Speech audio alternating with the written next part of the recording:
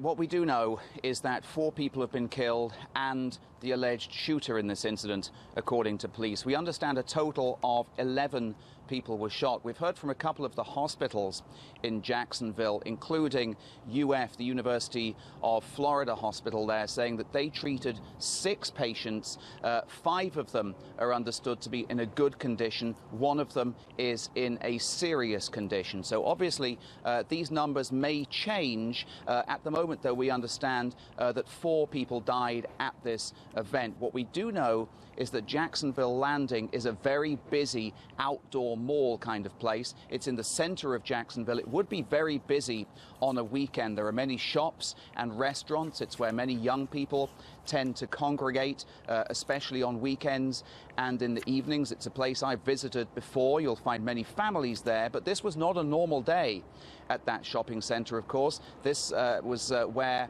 in one of the restaurants uh, inside this shopping center, was where this video game tournament, the NFL Madden video game tournament was being held. So you could expect many more people than you would normally expect to be there on a weekend uh, in attendance, particularly young people. So certainly the sheriff uh, being very circumspect in the amount of information he's giving, particularly on who uh, this uh, alleged shooter might have been and what the motivation was.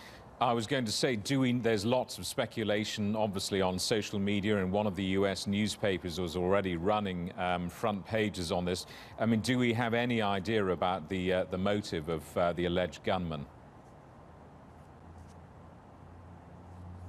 Well, some of the reports that we've been seeing uh, are that the alleged gunman was a disgruntled gamer. Of course, uh, this was a place where there were many young people, so uh, we've seen a lot of uh, social media accounts of what took place, not only the video that you played, but also many people live tweeting uh, the events as they unfolded inside that restaurant uh, at Jacksonville Landing. Many people saying that they were lucky to have escaped. One person whose tweet I read said that they were shot in the finger.